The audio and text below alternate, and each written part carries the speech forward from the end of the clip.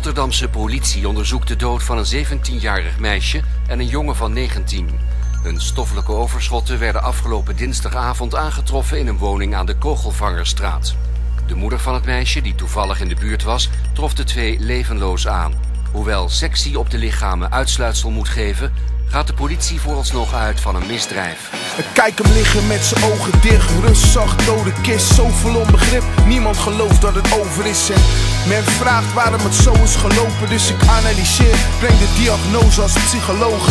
Eén oude gezin, oudste van vier, blootgesteld aan geweld vanaf een jaartje of drie. Zie door zijn ogen hoe zijn moeder wordt bedrogen. In elkaar wordt geslagen doordat ze niet meer kan lopen. Hij is nu gesloten, niemand drinkt tot hem door op straat. Stoer en sterk of zo doet hij zich voor. Kijk, op school kan hij zich slecht concentreren. Docenten concluderen dat Jimmy niet goed kan leren. Ja, Jimmy is zijn naam. Hij is vernoemd naar de mannen Hendrix, legendarisch met de gitaar. Maar dat was het idee van zijn pa. Begin maar niet over hem, want dan raak je zijn gevoelige snaar.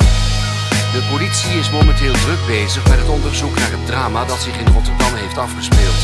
Volgens omwonenden zijn er in de nacht voor de ontdekking pistoolschoten gehoord. Het onderzoek is nog altijd in volle gang. Volgens anonieme tipgevers ligt de oorzaak in de relationele sfeer. De politie blijft intussen weigeren iets los te laten over de aanleiding van het noodlottige incident. Hij heeft het huis en de school verlaten, plan om dood te maken. Big Biz als Eddie, plan om het groot te maken. Een homie is niet bang om iemand dood te maken. Net 19 al veel van het leven gezien. Schijt aan iedereen, behalve Evelien. Zet hem op, baby, zij is net 17. Net 17 en 7 maanden zwanger. Vrouwtje is een bitch, van de buik heeft ze van een ander.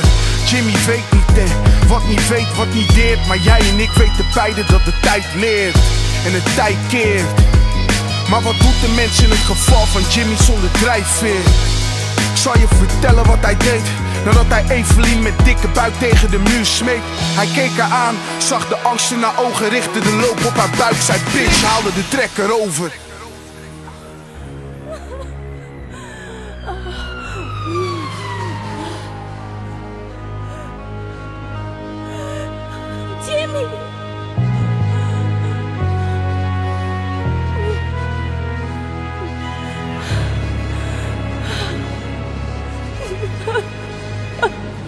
Er ligt bloed overal. En de kogel uit zijn strep ging in en uit als een overval. Evelien ligt op de grond met een wond. Haar kin op haar borst en er komt bloed uit haar mond. Jimmy is bekend met geweld Maar dit is toch niet zomaar een crime passionnel Evelien stond op het punt een kind te baren. En Jimmy krijgt spontaan een flashback uit zijn kinderjaren.